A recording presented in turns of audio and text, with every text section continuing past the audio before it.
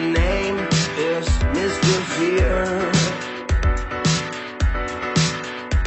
I wish I had a faster therapy.